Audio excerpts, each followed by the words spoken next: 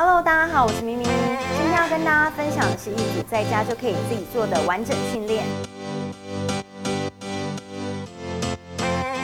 我们先屈膝躺在地上，肩膀先微微的抬起，吐气的时候运用我们腹肌的力量把肩胛骨带起来，吸气的时候再躺回地上。这个动作呢，我们要先把脚抬起来，呈现九十度屈膝，可以增加我们下腹的训练。双腿抬起来，跟身体做垂直。吐气的时候，尝试去摸你小腿前进的部位。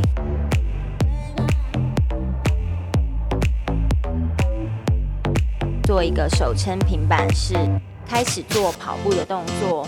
注意的就是维持我们呼吸的顺畅度。双膝往手脚方向前进，吐气的时候再把脚伸直，膝盖往手掌的地方靠近，回到原本的手撑平板式的动作之后，接着做一个开腿的动作，再回到原来手撑平板式的动作。首先，你一样是屈膝平躺在地，然后这时候我们尾椎要有一点微微的抬起，因为它要去启动我们臀部的力量。吐气的时候，我们的臀部往耻骨的方向推进，单脚桥式，我们一样屈膝平躺在地，一只脚抬起跟身体垂直的高度，这样可以训练我们单边的臀部的发力。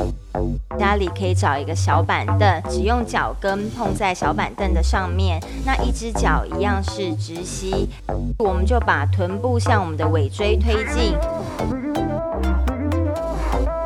都学起来了吗？健身要十分注意蛋白质的补充，可以帮助肌肉的生长。